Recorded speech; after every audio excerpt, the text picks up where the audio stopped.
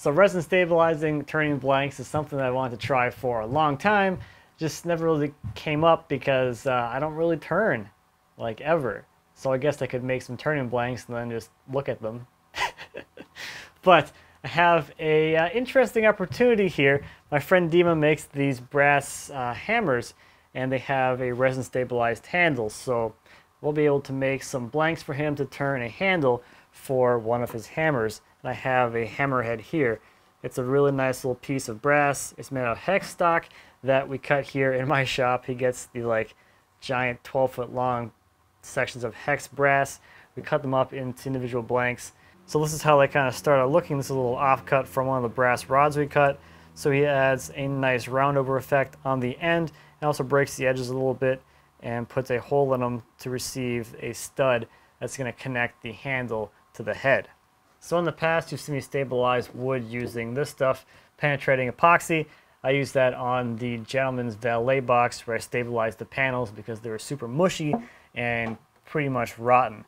So we're going to do something very similar to this today, except we're going to use a slightly different product and process. We'll be using this stuff, which is very popular among turners. This stuff cures using a heat source, whereas this just cures under a normal chemical reaction like you would see with epoxy. So this stuff will not start to cure until you heat it above the curing temperature, which is really powerful and um, really helpful for this because it allows you to have as much time as you need to get the wood to absorb as much of this product as possible, thereby infusing that piece of wood with as much resin as it could possibly handle. So you can imagine if you're able to infuse a piece of wood, it becomes way more dense and way more structurally sound. So I have a couple examples of um, infused things here in the shop. So Dema made me these two mallets. I think this one was like three or four years ago, and this one was like two years ago or something like that. They are, well, different sizes. You can see the head on this one is much bigger than the head on this one, but this guy here is much heavier than this one is. The other thing here is that the resin infused head, this one happens to be cherry, is much more durable. So I actually used this when I was building my bandsaw mill, so you can see all of the little bit of damage here on the end. That's just from me hammering on bolts and pieces of steel and transfer punches with a wooden mallet. And this thing has held up uh, pretty ridiculously well for the amount of abuse that I've given to it. Um, something that's not infused like that, especially of cherry, would never hold up that well. So another example here is this turning mallet. The head is a cherry burl. Burl, of course, since the grain is growing in all different directions, this would be probably a bad choice for a mallet because that grain would be pretty weak. But since it's infused with resin, that allows it to be really solid and structurally sound, and you can actually use this as a mallet without having to worry about like a chunk of it coming out as you're smacking on your carving tools or something. The other thing here is the brass hammer. So this is an earlier version, probably one of the prototype ones of the hammers, and this is a boxed elder burl and that's also stabilized as well. So it almost has a stone appearance because you're able to put such a high polish on it because it's a lot harder than it normally would just left as wood. So if we want to fully infuse a piece of wood with resin, we need to essentially replace all of the air inside of a piece of wood with resin. Wood is very porous, it has a lot of open space inside of it, so there's a lot of air in here, and there is also a lot of space for resin to go, which is why you'll see the weight of these things increase so much as they absorb resin. So the easiest way to do that is to use a vacuum chamber. We can put the, uh, the blanks or blocks of wood in the resin, put it in the vacuum chamber. The chamber is going to pull all of the air out of the wood, allowing the, uh, the resin to flow down into the wood to be soaked in all the way and just fill all the pores, all the voids, everything gets filled with resin. And since we're using a stabilizing product that does not cure until it's heated, we can leave it in a vacuum chamber for as long as we need to to make sure that that piece of wood has absorbed as much resin as it's ever going to. So for these handle blanks, I have this chunk of spalted maple. It is very light. It should not be this light. It is, uh, is pretty far gone. So we are going to totally stabilize this, make it structurally sound, and make some pretty awesome handles out of it. Um, we're going to see this thing really come to life. It has a lot of interesting color. And if this works out pretty well, I have a lot more of this. I also have some stuff with uh, quilted maple. This actually all used to be quilted maple before it rotted. but uh, I got this piece as well as a bunch of other chunks that I've been sitting on for a long time um, from Neillsville, Wisconsin. Every time I go visit my in-laws there, they have the local yard waste dump, like not that far from their house. I always go there and see if there's any interesting logs or trees out there. And about six years ago, I picked up this stuff. So we'll see how this goes. So I'm gonna start getting this thing cut up into blanks for the handles, and those blanks are going to be inch and three quarters square by three and a half inches long. I'm gonna try and get the most number of handles I can out of this block of wood, and hopefully we'll have a few to kind of choose from.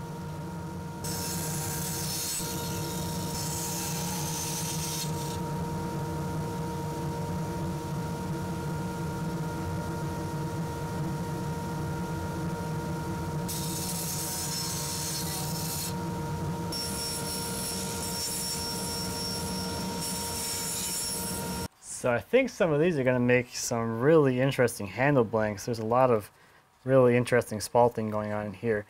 Uh, before we move on, I do want to get a starting weight on these just because I'm curious to see how much weight we're going to add to these guys. So currently, looks about two and a half ounces for a blank. Three on that one.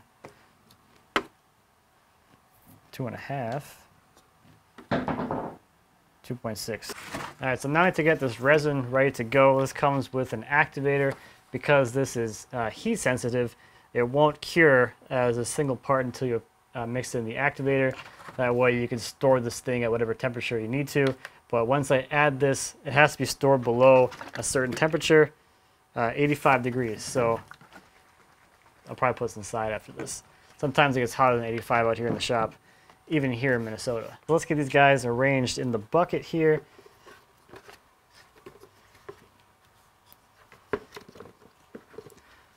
Now I do have a decent amount of dead space in there. If I was smart, I would have got some like marbles or something to take up the space, but this stuff is reusable and I'm hoping that I'll be able to fully submerge these. Otherwise, I'll have to find something to displace some of the resin, but I'll probably end up dumping this entire container in here. All right, so you see those start to float. So I have my little weights somewhere. You can already see how the resin is pushing the air out of the piece of the wood. So that's pretty cool. Got some more resin. I'm going to top it off some more because it is going down already.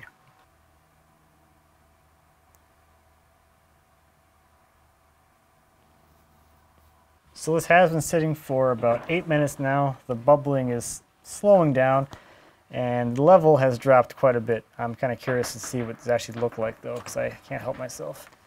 That's that's gonna be pretty cool. Okay, put that back down in there.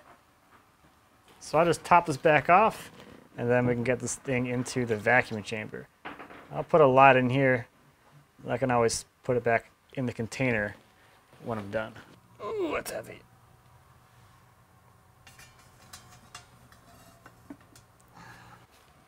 Looks like I'm making soup or something. I'm gonna pop on the lid and then start up the vacuum. Really soupy.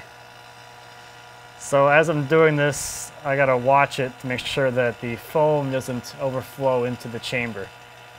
So I'll let the vacuum come up a little bit, I'll release the vacuum, get the foam knocked down, and I kind of repeat that process until the heavy bubbling stops. I don't want to speak too soon, but this is at full vacuum now, and it doesn't seem like the foam is getting that high. So I might be fine to sit here and watch it without having to worry about it overflowing.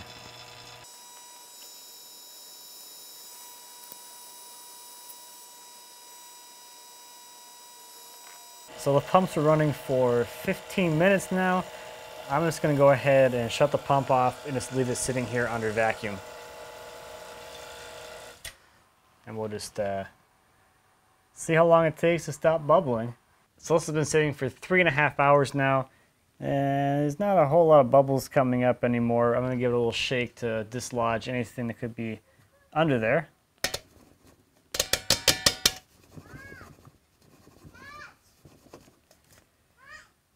I seem to dislodge some more. I'll probably just sit for another half hour to an hour or so and check back on it again. For about five hours, just got the kids put to bed. Came out to check on this thing and it looks like it's not bubbling anymore. So should be good to go at this point. So the instructions for this product is to leave it sitting in the resin for at least twice as long as it was under vacuum. So that means I let this sit out here for 10 hours in the liquid after I release the vacuum. So I'll do that real quick here to start letting some air back in. So it's about 10 o'clock at night right now, which is kind of nice. I can just leave this out here overnight. And then tomorrow we can pull these things out of the resin, get them in the oven, and get them baked and cured. So these have been soaking for quite a long time, probably about 18 hours. That's just how life goes sometimes. No more air bubbles or anything coming out of these things. So time to get these things out of here, wrapped up and stick them in the oven.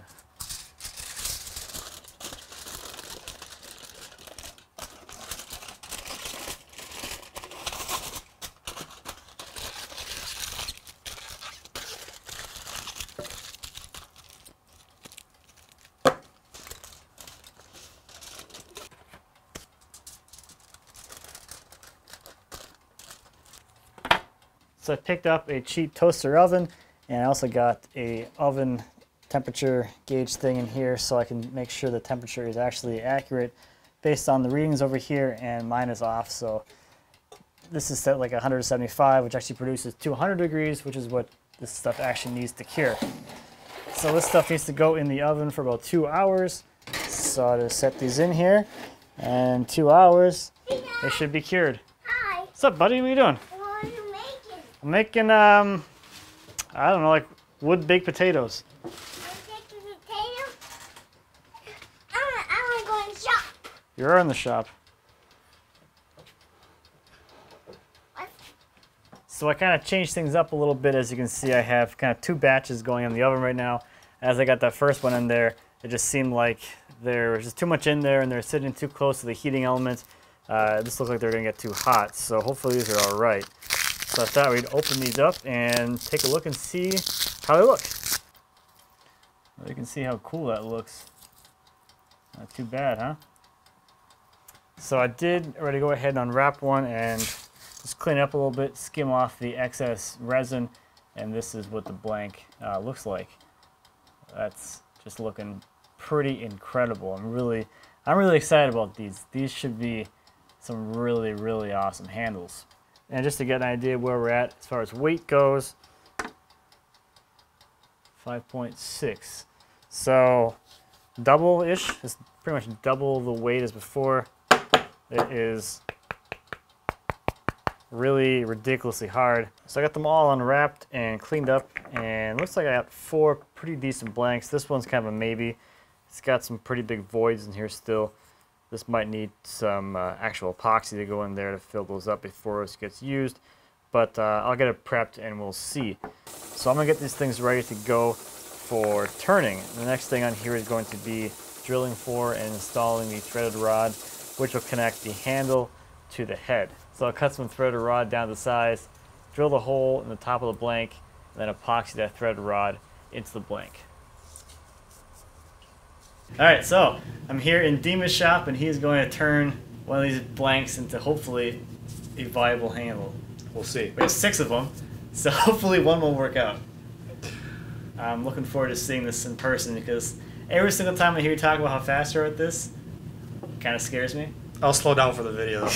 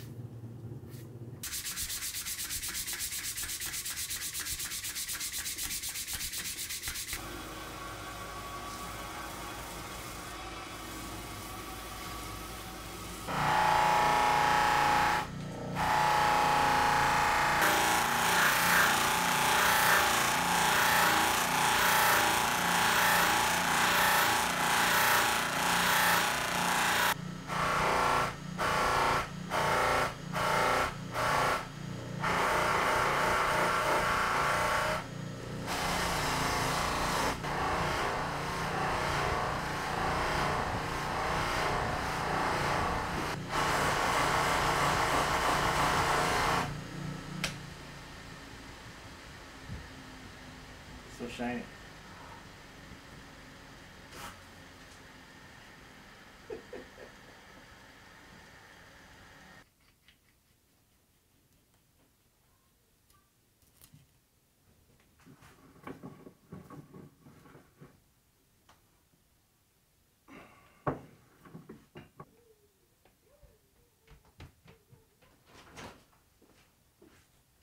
So pretty cool. We went from something super punky, super soft, and pretty much unusable to something that actually is uh, usable, functional, and absolutely just beautiful. So I'm really happy with the way this one here turned out. I ended up making six blanks for the hammer handles. Uh, five out of the six worked out, so I have one here. The other four already have found homes, and then number six didn't quite work out that well. Uh, I must have drilled the hole for the stud off center because it's not at the right diameter down here. And it's full of voids anyway, so this was one of those the ones I didn't think were going to work out that well anyway. So no huge loss there. Now this is really just scratching the surface of what's possible with this whole process. And for instance, you could do different colors as well. So if you wanted to add a dye or another coloring agent to the resin, as you're doing the casting, you can impart color into your blanks. That's another thing you can do with this. Again, this is just like the basics, I guess. Um, and it doesn't have to be super soft or punky. You can, of course, infuse resin into something that's totally solid and fill up all of the voids or just, just airspace in a solid piece of wood that's not soft and rotten and make it much stronger and much more dense. And it's a whole another thing. I think this is what I'll try next. I have a lot more of this resin, so as you can see, this, this can really go a long way. I used about a quarter of this jug, and this stuff is super soft and absorbed a lot of resin. So if you're doing something that's not like uh, rotten like this, this will probably last you for uh, a decent amount of time or release a decent amount of blanks. So I do want to say a big thank you to Dema for helping me out with this video and making that turning look uh, ridiculously easy and simple. But uh, I know if I was doing it, it would never go that quickly or that smoothly, that's for sure. So thanks so much, Dema, for another mallet to add to my collection. If you want to check out Dema's stuff, I will leave his links down in the description. And if you want to purchase one of his hammers, there'll be a link to that as well. So I think that's all for this one. Thank you as always for watching. I greatly appreciate it. If you have any questions or comments about destabilizing or anything here in my shop, please feel free to leave me a comment. Since I was going to be happy to answer any questions you might have. And until next time, happy woodworking.